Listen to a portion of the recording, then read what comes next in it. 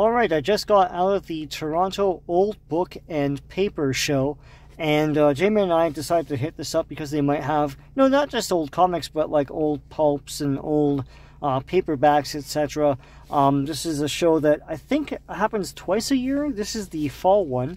Um, so I got a whole bunch of stuff. As you can see here, I got a Star Week. What is Star Week? Well, if you're in Toronto, if you're in the uh, Toronto area, you know that Star Week was the, is still the uh, TV guide that comes with the Saturday Star.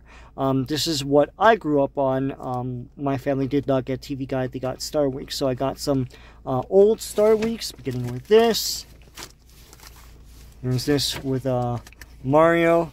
Uh, there's this profile of um, uh, WKRP. A Live Aid retrospective.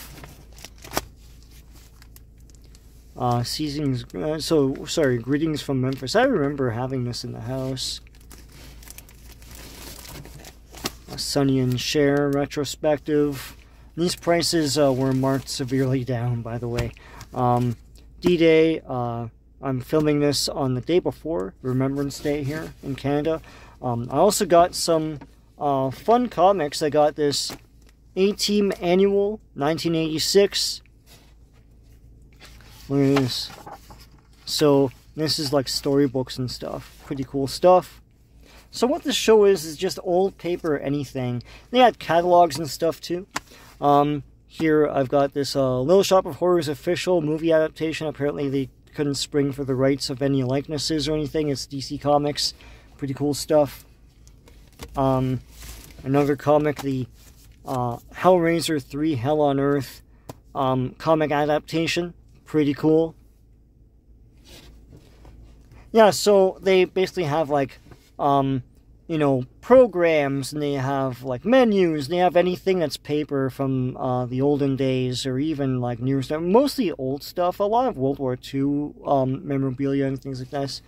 Um, I also got this Star Wars making of the movie. This is copyright 1980. So pretty cool. Um, it's basically um, a making of thing for kids. Pretty interesting to look through now. Got this fun, weird thing. Um, the Empire Strikes Back mix and match storybook. So you can open it up. You can mix and match settings. Uh, Luke was hiding behind a rock, and you can flip these to any setting. Uh, there's a stormtrooper, etc. So pretty cool. Got these old TV guides. You have this 1981 uh, Johnny's 19th anniversary. uh, this Simpsons one inside Sim uh, Homer's head. This X-Files one. I have to check if I have this one. I think I do. um, Cheers, The Last Call. Uh, the last episode of Cheers and another Simpsons one for Christmas. And that's what I got. Oh, no, wait. I got a few other things. I totally forgot. Um, these are awesome. I gotta dig into a bag back here. Alright, you ready? Little Big Books. So this is uh, Dick Tracy and the Hotel Murders. These are little books that... I don't know why it's having trouble focusing.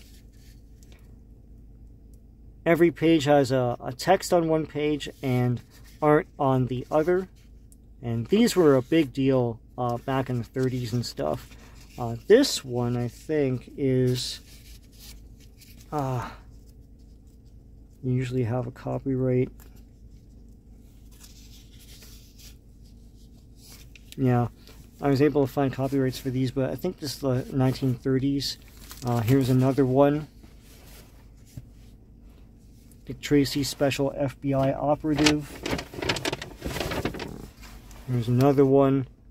Dick Tracy the Super Detective. See the back here. Other little big books. Or big little books. And last but not least, The Shadow. Someone put a plastic over it. That's cool. The Better Little Book. There you go. I hope to be going through these uh, on my channel. I never have time to do all the stuff I say I'm going to do, but I, I love to eventually go through all these on, on the channel, so that'll be a lot of fun. Um, that's what I got at this um, old paper, uh, old book and paper show in Toronto. Um, hope to go to the next one. So until next time, take care.